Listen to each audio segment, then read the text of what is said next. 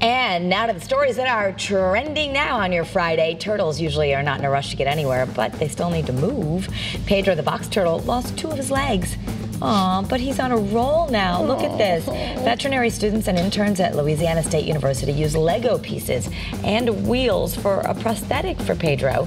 Plastic glue keeps the wheels on Pedro's shell, and now he's free to move around as much as he likes. Oh, that's amazing.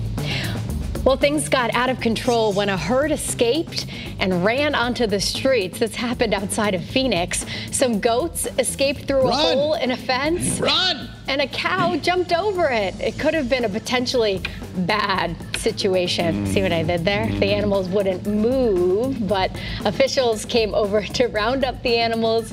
One even had to try his luck with a lasso. The animals did all make it home safely. One baseball player's boneheaded play cost his team a win in the minor leagues last night. So here's the situation. The team at bat, the Scranton Wilkes-Barre RailRiders, are down one in the 10th inning with a runner on second base. The batter gets a hit into right field to tie the game against the Norfolk Tides. But the outfielder strolls to field the ball and then flips it into the stands.